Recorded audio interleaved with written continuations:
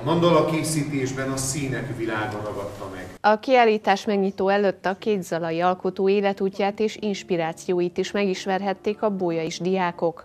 A mandalák a lélek szimbólumaként jelennek meg a különböző technikákkal készült festményeken. Mindegyikük más, hogy hat ránk, attól függően, hogy milyen a színvilága, milyen a formája. Egy festőtársammal együtt érkeztünk, ő sejem mandalákat, én jobbára üvegmandalákat hoztam.